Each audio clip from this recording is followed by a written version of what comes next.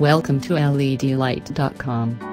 Product code 78569. This short round T10 wedge LED bulb is CE and RoHS listed. 78569 is available in white only.